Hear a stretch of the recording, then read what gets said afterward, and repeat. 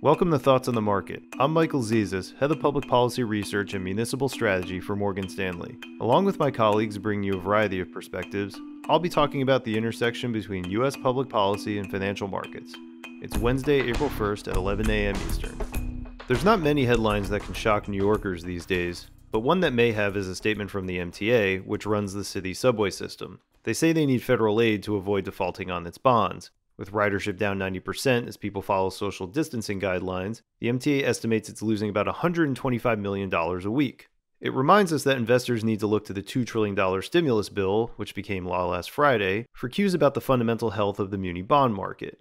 The bill includes around $400 billion for municipal governments and nonprofits. And this makes sense because this group has, in many ways, been at the forefront of responding to COVID 19 and draining their financial resources to do so. But is $400 billion enough to preserve their financial health? It's a key question for municipal bond investors, and the answer varies depending on the sector.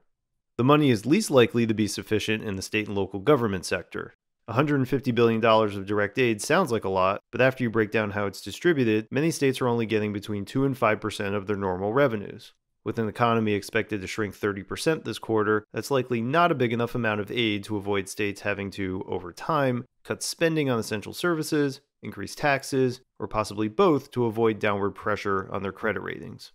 For hospitals, the money is more generous at about 10% of annual revenue, but the law doesn't specify exactly how it will be spent. In our view, large hospital systems tend to have enough cash on hand and geographical diversity to weather COVID 19, but the smaller, single facility hospitals are more vulnerable to burning through cash quickly if an outbreak occurs in their area. So, investors in the sector should be watching to see if the government targets this money to smaller hospitals before they run short of cash. For airports, the money is good news. Even with air travel at a near standstill, you may be surprised to learn that the top 30 airports in the US are in relatively good financial shape. Many came into this environment with well over a year's cash on hand.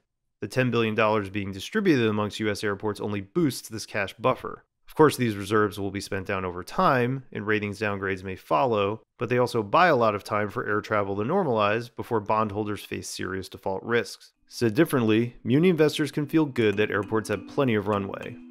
Thanks for listening. For more video from Morgan Stanley, please subscribe here to our YouTube channel, or you can subscribe to Thoughts on the Market directly on Apple Podcasts or your favorite podcast platform. The preceding content is informational only and based on information available when created. It is not an offer or a solicitation, nor is it tax or legal advice.